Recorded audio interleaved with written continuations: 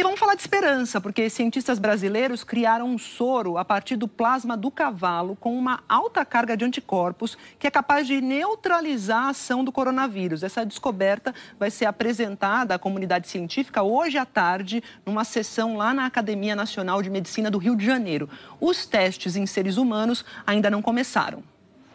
Neste laboratório, os pesquisadores da COP da Universidade Federal do Rio de Janeiro conseguiram produzir uma versão da proteína S. Ela está nestas estruturas ao redor do coronavírus que parecem espinhos. São elas que se conectam às células do nosso organismo. No fim de maio, uma solução com a proteína foi injetada em cinco cavalos do Instituto Vital Brasil, no Rio de Janeiro. 70 dias depois, as análises no plasma do sangue dos animais mostraram que quatro cavalos tinham anticorpos capazes de neutralizar a ação do coronavírus e com potência até 50 vezes maior do que os anticorpos encontrados no plasma de pessoas que se curaram da doença. Nas pessoas que são é, que, é, que, são infectadas pelo coronavírus, a resposta é muito heterogênea. Tem pacientes que não produzem anticorpos, tem outros que produzem pouco anticorpo e alguns poucos que produzem muito anticorpo. A produção de soro com plasma de cavalos é feita no Brasil há 120 anos, na Fiocruz, no Rio, e no Instituto Butantan, em São Paulo.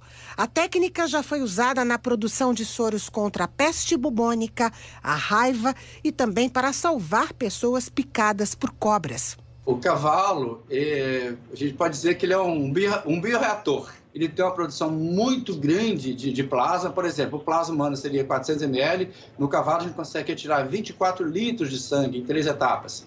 E ah, por ml, o quantitativo de anticorpos detectado ele é 50 vezes até 100 vezes maior. Alguns animais produzem até muito mais. Os cientistas que participam desta pesquisa dominam a tecnologia para criar a proteína no laboratório e também para produzir o soro com o plasma dos cavalos em larga escala.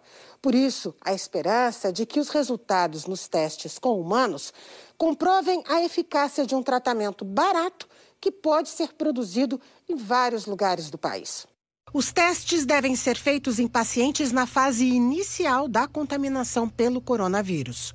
Os estágios iniciais devem ser os melhores para segurar a infecção e não deixar progredir para esses estágios uh, em que se ocorre uma, uma grande infiltração do pulmão. Não quer dizer que não possa funcionar também nesses estágios uh, mais tardios, mas uh, todo estudo ele tem que se focar em, né, na, na, em, em alguma parte da doença.